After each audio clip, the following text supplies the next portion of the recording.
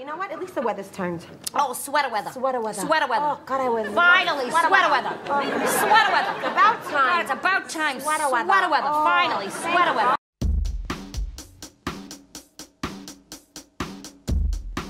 Hey, Pios.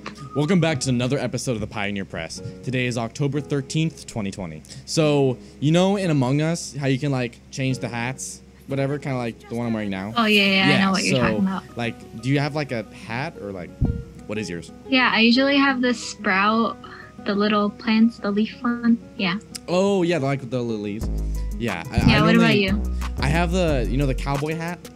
That one. Oh, yeah. I always have like the cowboy hat or like the sheriff's hat. They're like the same thing, but makes me feel better than everybody. And, Oh, uh, really? Yeah, I Oh, just I feel superior. Anyways, Okay. That's kind of sus, but okay. go ahead. So, for today's episode, we'll be starting with a throwback. Oh right, yeah. So this person is born in Cedar Rapids, Iowa. He attended Clear Creek Amana High School. He developed his passion for acting in high school and enjoyed being in school plays. He attended University of Iowa and studied biochemical engineering before moving to Los Angeles to pursue a career in acting. He began his acting career when he was first cast in the sitcom That 70s Show. Oh, have you watched that 70 show? I love that show so much. I watch it like I love every it single too. day. That and The Office.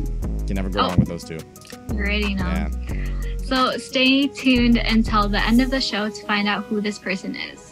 Well, I'm Sundas, And I'm Landon. and you're watching the Pioneer Press. Social distancing, Social distancing. quarantine, Quarantine, global, pandemic, COVID 19 daily edition.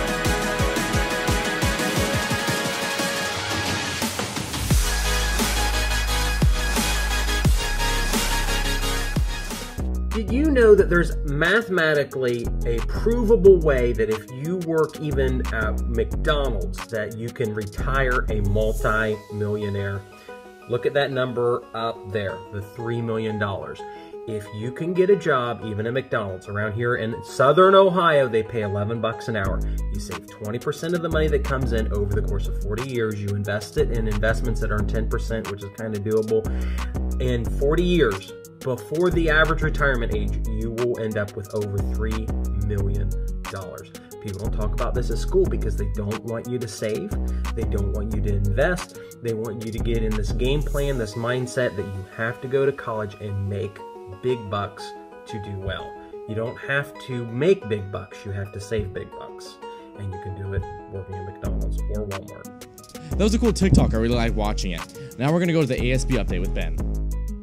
What's up, Pios? I'm Ben with this week's ASB announcements. So, as you know, it's Breast Cancer Awareness Month, which is why we're doing the Think Pink Challenge.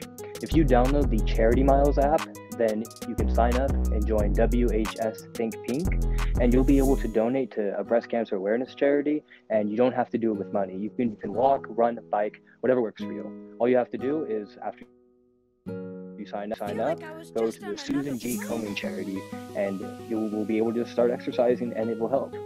So this is available from the 12th to the 23rd. So this is limited time. Please, please, please support if you can.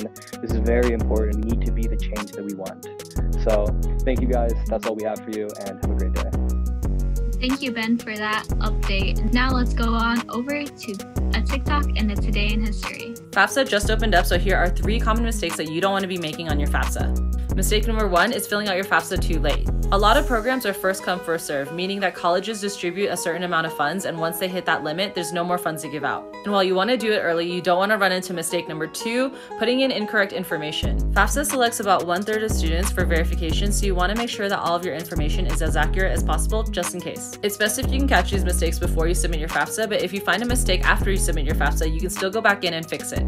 And last up, you're going to want to make sure that you set up an FSA ID so you can sign your FAFSA, and that your parents also set up an FSA ID to sign your FAFSA if you're a dependent student. Good morning, Pios. I'm Cassie, And I'm Tam. and welcome to the Today in History segment. Today in history, in 1492, the Italian explorer Christopher Columbus reached the New World when he landed in an island in the Bahamas. He thought he had reached East Asia at first and claimed the land under the name of Isabella and Ferdinand of Spain.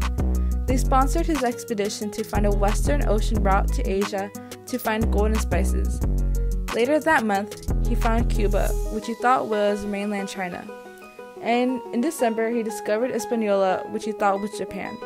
He made a small colony there with 39 men.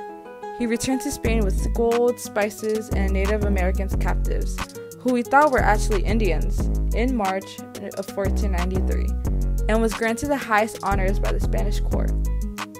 This began the process of colonization of the Americas by the Spanish, who caused the death of millions of indigenous peoples and the destruction of the Aztec civilization. He is the first European to explore the Americas since the Vikings set up colonies in the Greenland and Newfoundland back in the 10th century. For the rest of his life, Columbus led four expeditions in Americas where he explored multiple Caribbean islands, the Gulf of Mexico, and the South and Central American mainlands. However, he never accomplished his goal of making a Western Ocean route to Asia. In the end, he was able to discover the New World and give Spain the riches to become a powerful nation. And that's all we have for the Today in History segment. Stay safe, Pios, and have a great day. That was really cool. Well, that's all for today's show, Pios. But wait, there is more. Let's get back to today's throwback. Can I get a drum roll, please? Yes, you can. It's Ashton Kutcher.